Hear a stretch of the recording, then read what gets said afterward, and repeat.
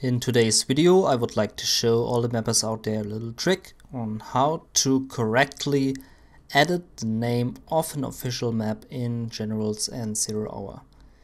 The normal steps you take are um, choosing the map you want to edit, then copy and paste it into your Zero Hour own data folder um, where the maps are stored, um, rename the name title of the folder and the, the data.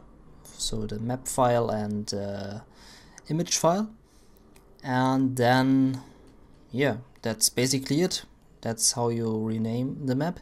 But you will notice in editing the name of an official map that the edited version will not show up in the in-game map selection screen.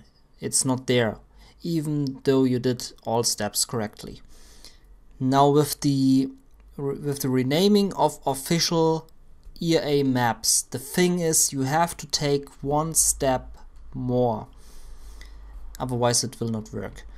And to do this, you go in your um, edited version of the map, which you saved correctly with the different name.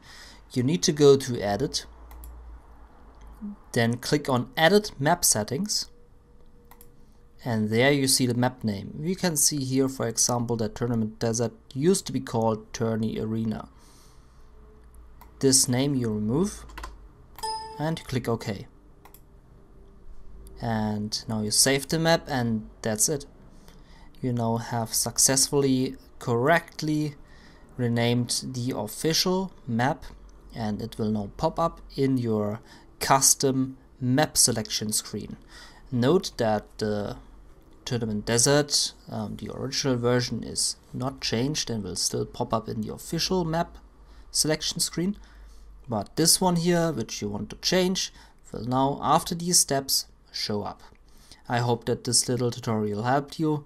I noticed that a lot of people don't know this trick and I hope that this now brought some light into um, renaming official maps correctly. This is your CNC HD. Bye bye.